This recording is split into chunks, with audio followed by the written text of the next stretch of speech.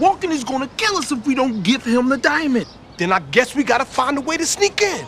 Marlon Wayans felt vertically challenged playing the role of his criminal mini me in Little Man.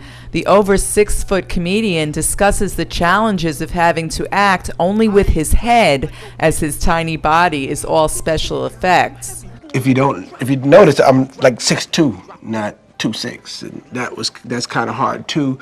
And, and and then on top of that, um, I gotta play a, a baby too. So it's it's it's a lot, and I all this, and I can't use my body. It's just like my head.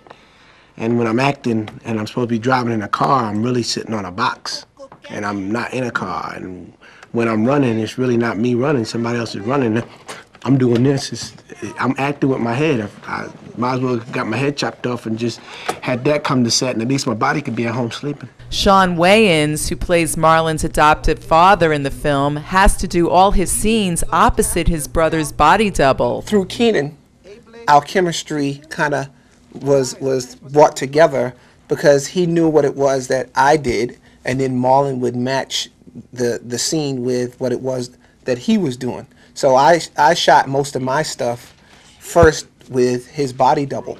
So then Marlon would watch what I did, and then he would ad lib what he would normally ad lib if we were both doing the scene together. So it was an interesting process. It was different. I missed having him on the set with me at the same time because we have a blast, you know, doing it. But um, you know, this this turned out really good.